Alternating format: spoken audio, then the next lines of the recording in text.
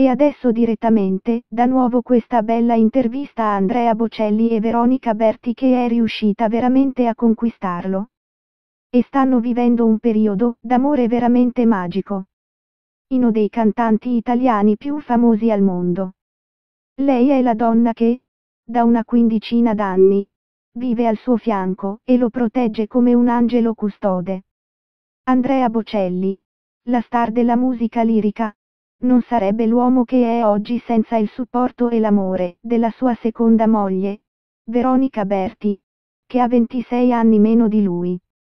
Ma prima di conoscere la dolce metà l'artista di Laiatico, cresciuto nel silenzio delle campagne toscane e poi travolto dalla celebrità, si definiva un libertino.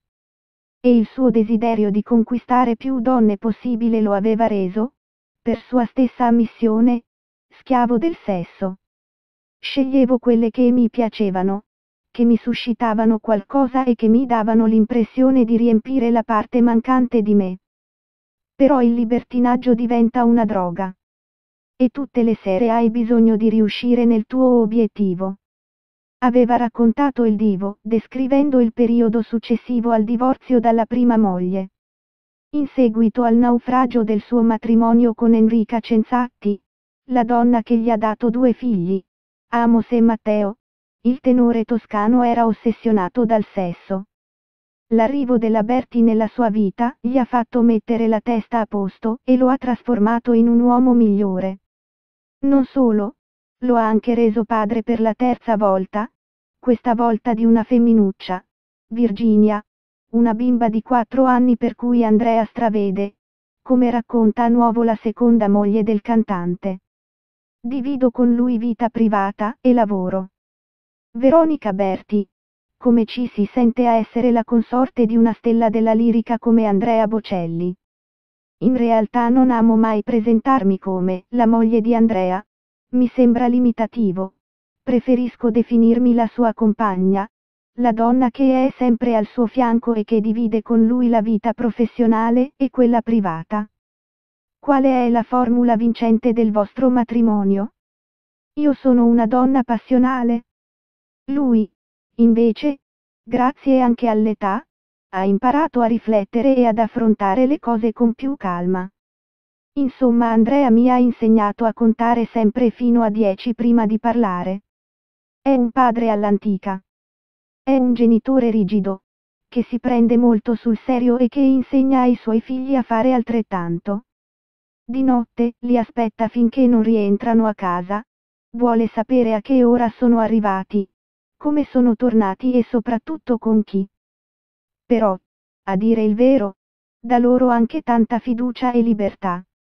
Si dice che di Virginia sia molto geloso. È vero?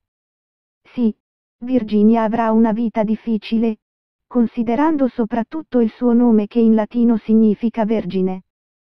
Quanto è importante la religione nella vostra famiglia e nell'educazione dei figli. Andrea è molto credente e tutti i valori che trasmette ai ragazzi sono legati alla fede e al cristianesimo. In particolare penso all'amore per il prossimo e al rispetto degli altri. Proprio su questi valori, tu e lui avete creato la Fondazione Bocelli, che aiuta a combattere la povertà e le diseguaglianze nel mondo. Siamo felici di tutto quello che abbiamo fatto finora, sempre grazie all'aiuto e al sostegno dei nostri amici perché da soli non avremmo potuto fare nulla di tutto ciò.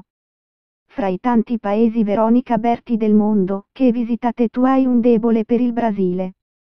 Perché? Abbiamo amici che vivono lì. Mi piacciono le persone, con la loro forza straordinaria, e soprattutto la musica brasiliana. E poi anche in Brasile la gente va pazza per il calcio, una delle grandi passioni di noi italiani. Se dovessi per un attimo guardarti dall'esterno, come ti descriveresti? Avrei sempre voluto es. Come quelle donne che dico di mangiare tanto e di non grassare mai. Purtroppo devo confessare che non è così. Restare in forma ed entrare miei vestiti ho bisogno di st. Attenta e di fare qualche sacrificio. Però nella vita si fa chi che si può, giusto. Io Alme ce la metto tutta. Foto e articolo tratti da Nuovo.